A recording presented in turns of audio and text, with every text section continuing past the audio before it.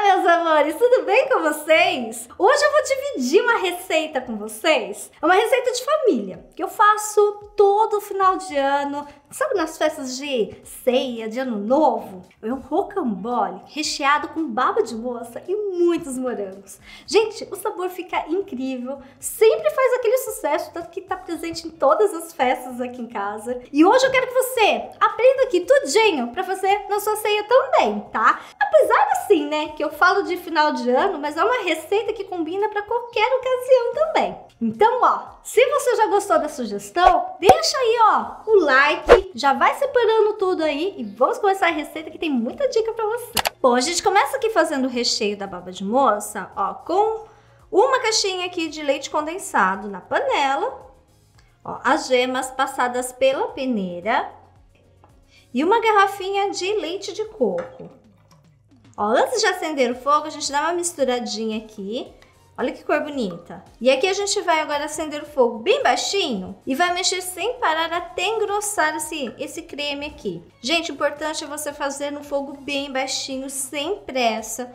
Por quê? Para não correr o risco de talhar aqui o creme, tá? Olha só como o creme já engrossou, ó. Depois que ele esfriar, ele vai ganhar mais consistência. Aqui, ó, já tá pronto o nosso creme baba de moça. Eu vou apagar o fogo e a gente vai colocar aqui numa outra vasilha para esfriar mais rápido. E aí a gente deixa sempre, ó, esfriando com um plásticozinho, ó, bem grudadinho aqui, ó, no creme. Bem encostadinho aqui, ó, para não formar película. Enquanto a gente deixa esfriando, vamos partir para a próxima etapa.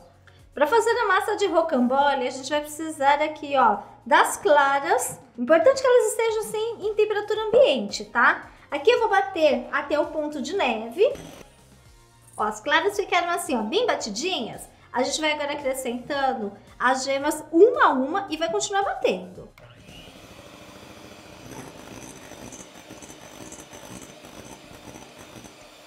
Ó, incorporou bastante ar, tá bem aeradinho assim, ó. A gente vai acrescentando o açúcar de pouquinho em pouquinho e continue batendo também. Agora, ó, a essência de baunilha para dar um aroma. E farinha de trigo a gente vai fazer do mesmo jeito também, ó, de pouquinho em pouquinho.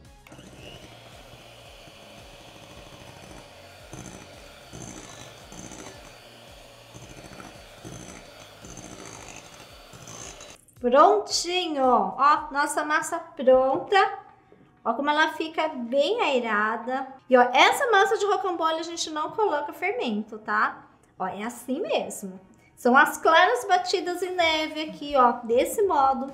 É que fazem com que a massa fique bem macia. Para assar essa massa, eu vou usar essa forma no tamanho de 40 centímetros por 30 centímetros.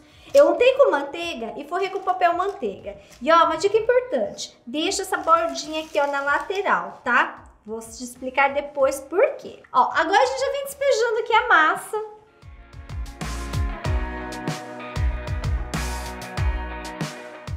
Aí você vem aqui com a espátula e vai esticando aqui, ó,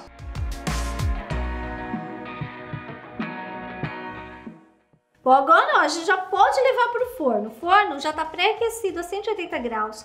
Vai ficar por cerca de uns 15, 20 minutos. O importante é ser que ele deixe douradinho por cima. Mas não deixa dourar demais não, tá? É só um pouquinho. Essa massa ela é bem fininha, ela assa rápido, tá? Enquanto a nossa massa vai assando, já aproveita para se inscrever aqui no canal. E é de graça, né, Jorge? Ah, só apertar o botãozinho vermelho. É isso mesmo. Então, e já aproveita também, ó, clica no sininho. Então, ó, aperta o botãozinho vermelho de inscreva-se, ativa o sininho e receba todas as notificações, as receitas, receitas gostosas para você fazer todas elas em casa. Nossa massa já assou. Olha como ela tá linda. Ó, Jorge. Isso, né? Ó, douradinha, ó, super, super macia. Agora vamos partir para a montagem desse rocambole que eu tô ansiosa para provar, hein? Bom, já vou começar com dica. A gente vai retirar aqui a bordinha, a lateral aqui da forma. Por quê? Ela é uma parte que resseca um pouco mais. E se você deixar essa partezinha mais seca, na hora de você enrolar, ela vai quebrar o rocambole, tá? Então fica a dica aí. Ó, outra dica também é você já soltar um pouquinho aqui, ó, na lateral da massa. Tá vendo? Olha como ele solta bem facinho aqui, ó, tá vendo? Faz assim dos dois lados. Olha só. Que maravilha! Beleza, isso aí. Isso aí! Aqui o recheio, olha, ele já esfriou e a gente vai colocando de colheradas aqui, ó, para facilitar na hora da gente espalhar bem o recheio.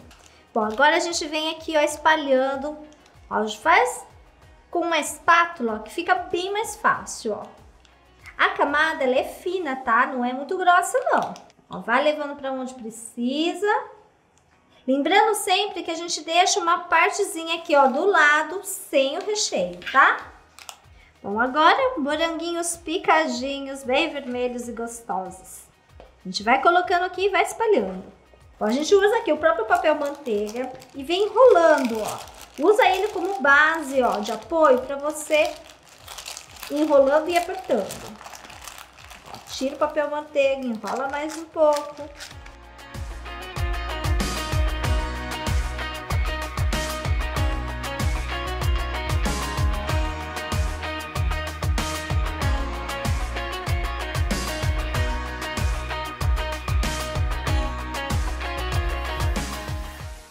Tudo enroladinho, a gente vai fazer assim, ó. Vai deixar enrolado, aperta bem aqui, ó, para ele ficar bem certinho e redondinho. E a gente vai deixar descansando aqui, ó, por uns 15 minutinhos. A gente vai levar para geladeira e daqui a pouco a gente vai começar a decoração desse rocambole lindo. Bom, gente, agora a gente vai bater aqui, ó, o chantilly. O chantilly tem que estar tá bem gelado. Bom, aqui agora a gente vai bater tudo muito bem até ficar o ponto de chantilly. Bom, gente, ó, já ficou bem firminho aqui. Agora a gente vai colocar numa manga de confeitar. Ó, eu vou fazer com bico 1M da Wilton, mas pode ser qualquer bico que você tiver aí na sua casa, tá? Vou deixar aqui reservadinho e vamos pegar o rocambole. Bom, ó, o rocambole já descansou aqui, ó. E a gente vai colocar agora num prato. Ó, vou usar um salva-bolo só pra facilitar aqui na hora de pegar, porque ele tá super macio. Aqui nas laterais, vejo que ela fica assim, não fica tão bonitinha, né? Então a gente vai fazer um cortezinho aqui, só pra, por estética, tá? Só pra ficar bonito. Bom, agora, meus amores, ó, é só você vir confeitando aqui por cima e vai decorando assim, deixando ele bem bonito.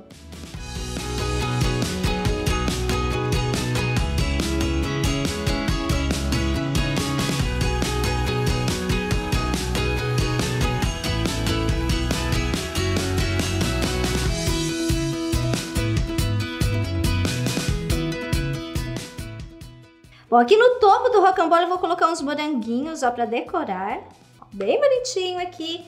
Olha só, meus amores, que belezura! Ó, que lindo! Prontinho pra gente servir, cortar uma fatia. Então, ó, chega pertinho, Jorge. Opa. Vamos mostrar a fatia aqui pra você.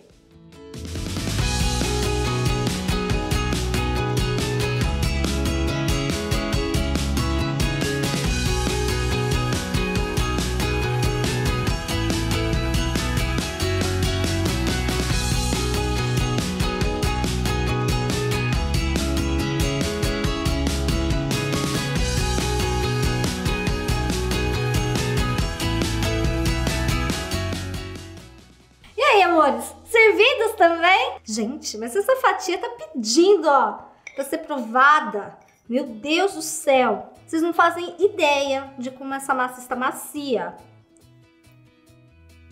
Hum, hum. Para tudo!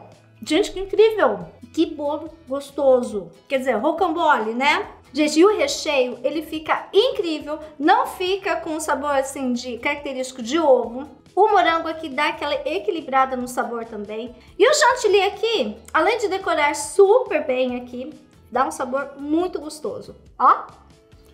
Hum.